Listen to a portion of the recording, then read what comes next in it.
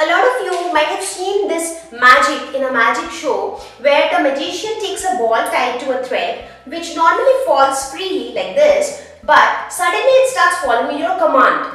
Start, stop, start, stop, start, stop, start, stop.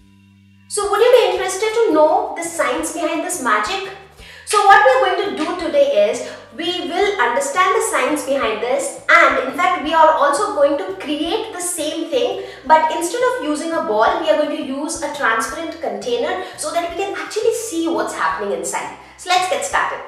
So we take a plastic sheet, considerably a thick plastic sheet and this is the transparent plastic container that we would be using. So the first thing that we have to do is we need to cut a circular sheet from this plastic sheet in this shape. So we just take a measurement of this circle.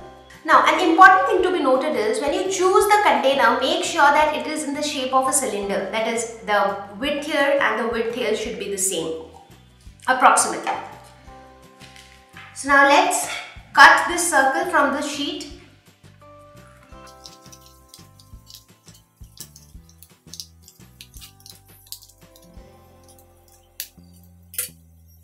Now we have to make a hole at the center of the top of this container and the center of the bottom of the container. So let's do that. For that we heat this divider in the candle flame and when it is hot enough then we make a hole. So now you see the way we have created the two holes, the two holes are lying along the same line.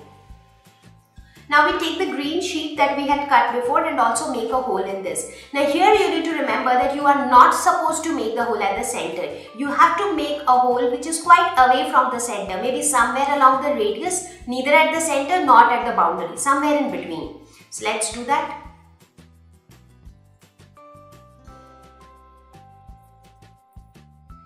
So we got a hole on this green sheet.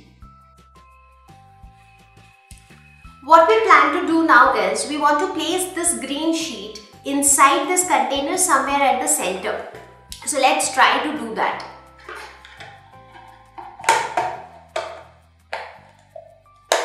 So we see when we try to place it, it falls down to the bottom. So it's quite challenging to make it sit at the center of the container.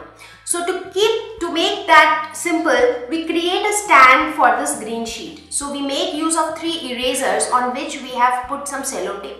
So we will place this erasers on the walls of the container like this. While making the stand, make sure that the three erasers should be placed at equidistant from each other. So this is how you have built a stand.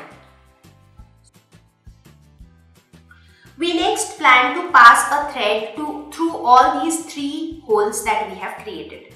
So let's get started. So to make it simple, what we have done is we have put the thread inside a needle so that it becomes easy for us to pass it through the holes.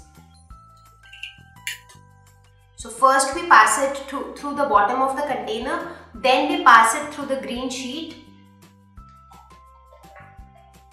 and then we pass it through the lead of the container. Just to make sure that the thread doesn't come out of any of these holes, what we do is we are going to tie paper clips on both the ends of the thread. So this is our paper clip. So we put it at one end and tie it here. Similarly, we do it for the other end as well. Our next step is to place this green sheet inside the container. We have already made a stand and one more important thing is make sure that the thread remains straight.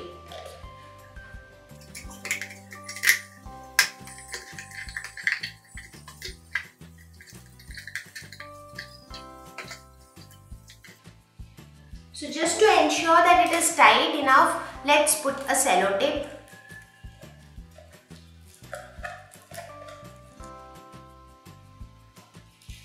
So now you see the central plate is very tightly fixed at the center of the container. So now we can close the lid of the container.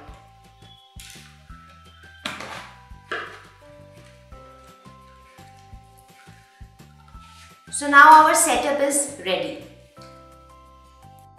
Let's see if this works. So when we leave the wire loose, we see that the container falls freely, which is the normal behavior. But will this follow our command? Let's check. So we tighten the wire and we could make the container static at a point. Let's give some command. Start, stop. Start, stop. Start, stop. So this works exactly the way we wanted the ball to work or we were seeing the ball to work. Now let's try to understand the science behind this magic. Observe inside the container very carefully.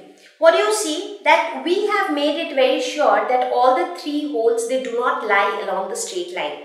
So if you see the top and the bottom hole, they lie along the straight line, but the central hole, it has been deviated from the center. So therefore, these three holes which have been made in such a way that a lock gets created inside the container. Now when we make the wire tight, so what happens? When we tighten the wire, basically the wire kind of becomes less flexible. It behaves like a rod and therefore the hole which is there at the center plate, the hole is not able to make the wire pass through it. So you see how at the center plate, the green plate, the two wires have created an angle amongst each other and because of which they are not able to pass through the hole and it gets stuck and therefore it stops. What happens when we loosen the wire? The moment we loosen the wire, the container falls down. So what actually happens is, when we keep the wire loose, it is more flexible. So the wire somehow changes its shape and somehow it makes its way through all the three holes and that is why it falls down. By now you would have understood that the trick behind this magic lies in the plate inside the container. So if you want to show this magic and amaze your friends, what you can do is you can wrap it with a sheet of paper so that you know you can hide the actual magic inside. So wrap this paper using sellotape and now when you look at it, it actually looks like the magic container because nobody knows what's there inside. If you enjoyed this magic container, please make it yourself and amaze your friends with this and also let us know your feedback. Like and share the video, subscribe to our channel to get daily updates. Thank you.